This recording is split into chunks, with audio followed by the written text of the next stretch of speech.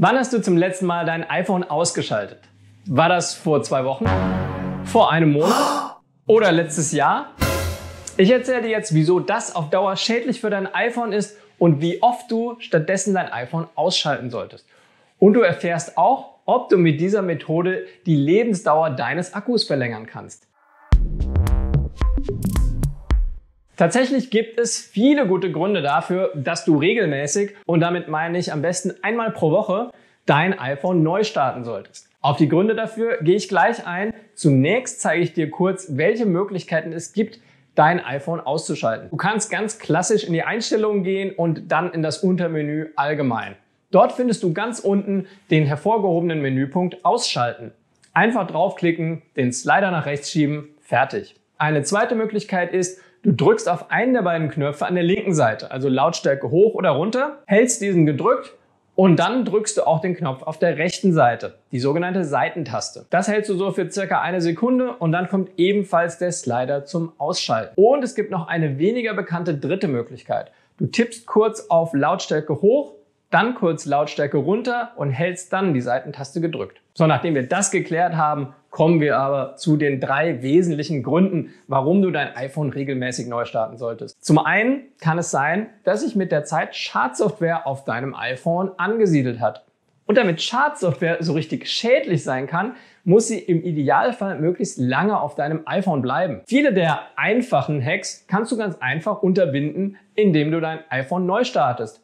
Denn dann werden alle Programmroutinen einmal unterbrochen und diese Schadsoftware wird dabei entfernt. Das heißt also im Klartext, obwohl das fast unglaublich klingt, durch regelmäßiges Aus- und Wiedereinschalten machst du dein iPhone sicherer. Das ist ein wichtiger, aber nicht der einzige Grund, der dafür spricht. Das Cache Memory, also der Zwischenspeicher deines iPhones, wird bei einem Neustart gelöscht. Das kannst du sogar selbst nachvollziehen. Gehe auf iPhone Speicher. Hier siehst du einen Punkt Systemdaten. Das ist der hellgraue Balken hier ganz am Ende. Darunter sind Daten, die für den Systembetrieb immer gebraucht werden, aber eben auch zwischengespeicherte Daten, die an einer Stelle mal nützlich waren, inzwischen aber überflüssig sind. Schalte dein iPhone aus und diese Daten werden gelöscht. Ich habe das hier mal bei mir gemacht und zwar habe ich einige Videos von meinem iPhone gelöscht.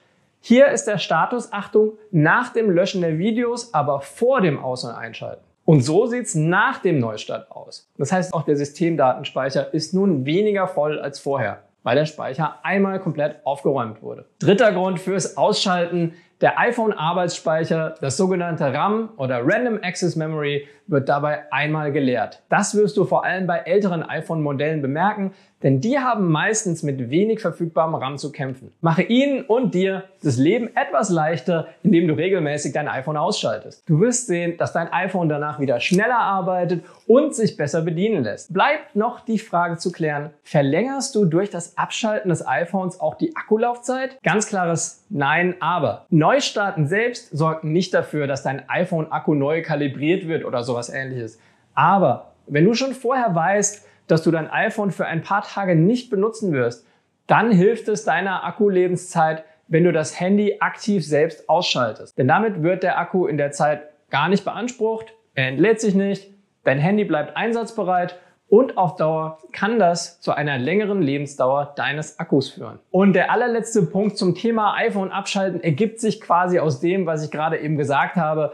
Schalte das iPhone eigenständig und proaktiv aus wenn der Akku noch nicht völlig leer ist. Mit anderen Worten, lass das wöchentliche Ausschalten nicht einfach dadurch geschehen, dass du den Akku sich voll entladen lässt. Denn das ist auf Dauer auch nicht gut für ihn. Und wenn du dich jetzt fragst, wie du am besten die Akkulaufzeit deines iPhones verlängern kannst, dann schau dir direkt als nächstes dieses Video an, denn da erfährst du, welche 15 Einstellungen du in deinem iPhone abschalten solltest.